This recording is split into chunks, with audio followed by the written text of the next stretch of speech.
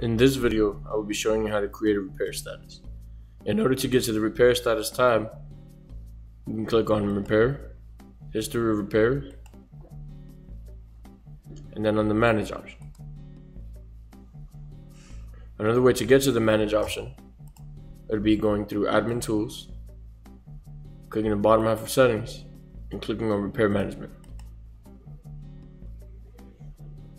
Once inside, click on repair status. To add a repair status, click on the add button on the bottom right hand corner. Enter in the status next to label. Select the color for it.